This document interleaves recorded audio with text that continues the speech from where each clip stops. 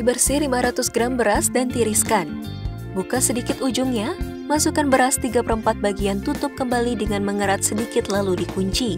Masukkan 2000 ml santan dari satu butir kelapa ke dalam panci presto. Tambahkan 2 lembar daun salam dan 2 batang serai. Masukkan ketupat, rebus selama 3 jam, angkat, dan tiriskan.